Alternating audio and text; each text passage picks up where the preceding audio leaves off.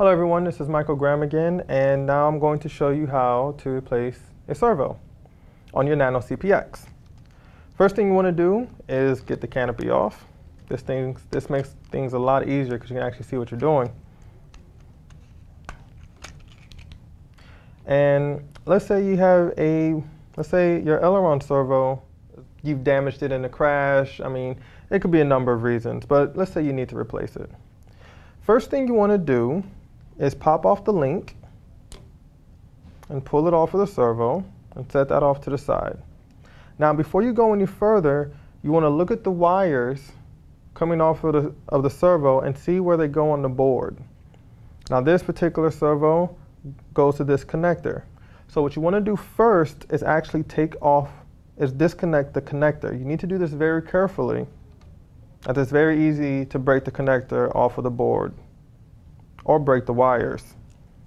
So take your time on this part, as I'm doing here, because you kind of want to work it back and forth. All right, now we have it off. And you want to carefully guide the connector around the wire so that it does not get tangled up until it's free. Now at this point, you want to take your Phillips head screwdriver and remove the two screws, holding on, holding the servo in place. And at that point in time, I'm going to take the screws out and set them aside so they don't fall away somewhere. At that point in time, the servo simply comes right off. Set, set out your damaged servo and grab a replacement. And you simply put it back into place. And you take the screws that you removed. This may be, this may be a little bit difficult for people who have big hands, such as myself. But you want to carefully put the screws back in place.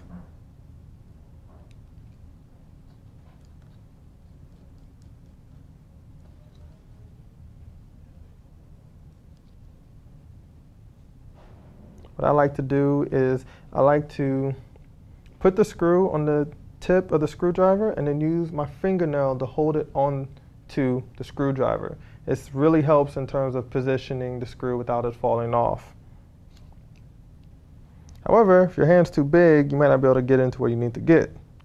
But here, I'm able to get the screw in.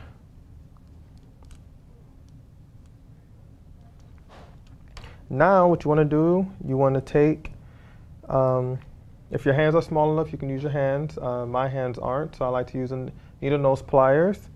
And I like, and now I'm going to guide the servo lead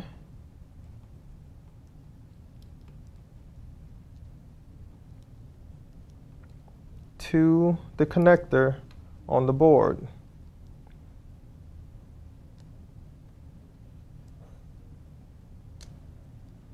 And then you want to make sure that that, that is fully seated and pushed all the way in. And then finally, you want to take the swash plate linkage, reattach it. You want to attach it to the top hole on the servo, and then attach it to the swash plate.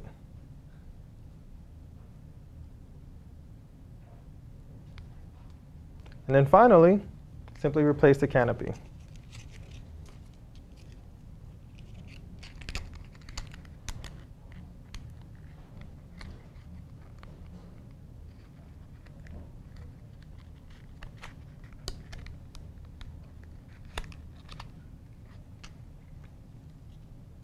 And that concludes replacing your servo on the Nano CPX.